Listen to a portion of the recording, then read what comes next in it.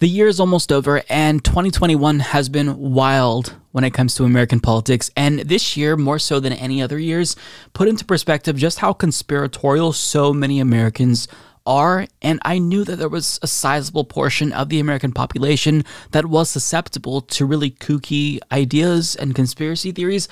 But to know how many people believe outlandish things, it did shocked me if I'm being honest. So, a YouGov poll conducted in November of 2021 found that 28% of Republicans believed it was very likely or somewhat likely Trump would be reinstated by the end of 2021. Now, I mean, time's ticking. So, if he's going to be reinstated, I'd imagine it's going to happen very soon, but it's not going to happen, obviously. Now, this conspiracy theory, it really or originates from QAnon, and it's something that's believed not just by QAnon subscribers, but Q adjacent people. And one thing that I want to talk about here is all of the QAnon prophecies, for lack of a better word, that have failed to come true. Because as, we learn how conspiratorial so many people are, effectively uh, mostly Republicans. You know, my hope is that since we're seeing failed prophecy after failed prophecy, more and more people will wake up and realize that QAnon is false. And perhaps we need to have a better standard for how we evaluate predictions and evidence and how we view the world. Um, so I want to go to a Rolling Stone article because Ryan Bort goes over all of the bold predictions that QAnon has made in 2021 that never ended up coming true. And I hope that if we talk about all of the failed things here, people will realize, okay, I was fooled. It's time to learn from this experience and move on. So the first one is January 20th. QAnon is based on the belief that the world is run by a cabal of Satan worshipping pedophiles and that Trump, in his capacity as president, was going to bring all of these people to justice. The fact that he got trounced by Biden last November accelerated the timeline for this to happen. And once the election results were certified on January 6th, conspiracy theorists decided he was going to do it on Biden's inauguration day, while at the same time revealing a secret plan to remain in office. This did not happen. QAnon adherents were confused but not deterred. In fact, they were more not deterred than anyone realized possible. On March 4th, yeah, Biden was inaugurated on January 20th, so what? The real inauguration day is March 4th, conspiracy theorists claimed.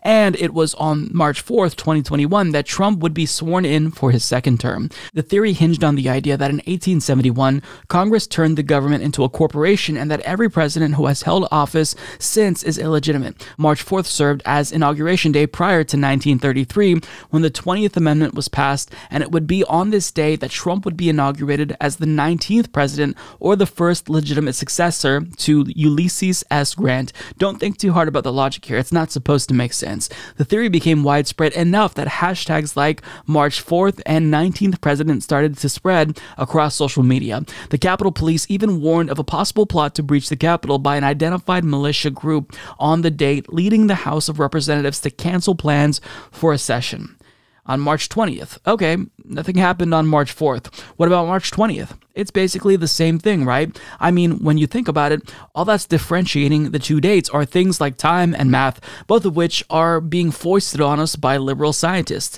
Can we just say he'll come back on the 20th instead?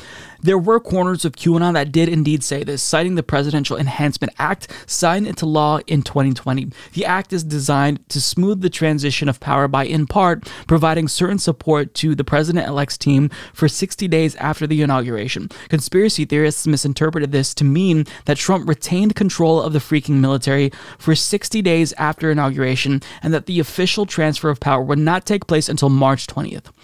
August 13th. All right, March was a bad month for conspiracy theorists. It was time to take a breather and really figure out when Trump was going to return to power. Mike Lindell announced on March 29th that it was happening in August, citing all of the evidence of election fraud he was going to show the Supreme Court. November 25th. Nothing happened in August either. But that's okay. Lindell soon thereafter pegged Thanksgiving as the new day Trump would return to office based on his plan to deliver his historic election fraud complaint, which would be signed by state attorneys general to the Supreme Court earlier this week. I talked to all the lawyers today, he said in September. 100% we are getting this before the Supreme Court before Thanksgiving. That is locked in stone, everybody. Now, obviously, none of that happened. When one date came and went, another one popped up. And I'm not sure if most of them were unable to fight through the cognitive dissonance. I'm sure that some of them realized, okay, we're being duped here. We're being taken for a ride, and this is this is bullshit. Uh, but not all of them. And also, of course, I would be remiss to not point out the JFK event that uh, took place in November, where hundreds of QAnon supporters showed up to an event in Dallas where they expected the return of JFK Jr., who's been dead for decades, by the way. And with this return, he would not only shock the world, showing that he's been alive all this time, but he would announce a joint 2024 presidential run with Donald Trump. And of course, Donald Trump was at the top of the ticket. Now, I don't know if this is a different branch of QAnon and if this differs with the reinstatement people. Perhaps, you know, there was a portion of QAnon that never expected him to be reinstated, but rather thought that he was going to announce a presidential run soon. I'm not necessarily sure, but here's what I do know. What seems like the dominant branch of QAnon is the group of people who believe that Trump will be reinstated. Now, the 28% of Republicans who believe that Trump will be reinstated in 2021, I'm not necessarily sure that all of them are strict adherents to QAnon. But one thing that I think is uh, evident that people need to pay attention to is how Q messages get leaked and they end up affecting normies. So perhaps somebody might not be in the Q rabbit hole, but they see a QAnon post on Facebook where it says Trump is going to be reinstated and they fall for it. And so they might not necessarily follow QAnon as closely as Marjorie Taylor Greene did before she was elected to Congress, but they at least see it and that Q message gets to them nonetheless. Now, one thing that I want to point out is that all of the dates that they came up with, they had this weird line of reasoning. Like they based it off of something. They didn't just pull it out of thin air. They based it off of, for example, um, what was it? The Presidential Enhancement Act. Is that what they cited as for the uh, return on the 20th? Uh, yeah, so basically, uh, the Presidential Enhancement Act, they thought that because of that, because Trump retained control of the military, there was reason to believe that he would return on March 20th. And then they had the 19th president uh, thing. So they can pluck some random fact about history out of thin air and they'll base their conspiracy off of that. They won't just say, well, he's coming back on the 20th because he told me so. He's in my ear and I'm listening to him. They base it off of something. And this is how they rope people in. Because people who have a low standard of evidence they don't realize okay that's not sufficient for me. They just think okay well this is evidence. This is something. And i'm inclined to believe it because i want to believe that trump will be reinstated. Therefore i'm not really going to question this. I'm just going to accept it. And that's a problem. Because the way that conspiratorial thinking uh, people act is they'll see something and they'll hang on to it. And you know you you can't refute that. And one thing that i want to draw attention to is my fake conspiracy video that i put out in spring. It was about kyle kulinski and whether or not he was being held up in a basement. Now i would encourage all of you to watch that. Sure we were having fun but what I was trying to demonstrate with that video is how easy it is to concoct conspiracy theories and create, quote, evidence out of nothing you know, eh, make everything into a conspiracy, make it suspicious.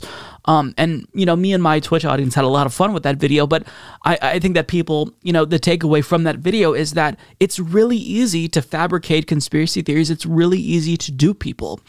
And I wasn't trying to do people with that. It was a joke. It was meant to be an exercise in showing you, you know, you can you can turn anything into a conspiracy theory. Um, I'll link to that video down below, by the way, in case you want to see it. Um, but the point is that we have to educate people on what is a sufficient standard of evidence. And especially, we have to teach people that if they see something that was proven wrong and the individual who makes these claims or the group that makes these claims is consistently wrong again and again and again, at some point, the red flags have to go off. At some point, you have to suspect that maybe they don't know what they're talking about. Now, I would imagine that the number of QAnon adherents has gone down. I mean, we've seen some people speak out and talk about how it's a cult and they're no longer part of it, but still, there's enough people. If, if a November poll is still showing that 28% of Republicans think Trump is going to be reinstated by the end of 2021, that's a huge issue. People are still very conspiratorial, and perhaps they're not subscribed to QAnon per se.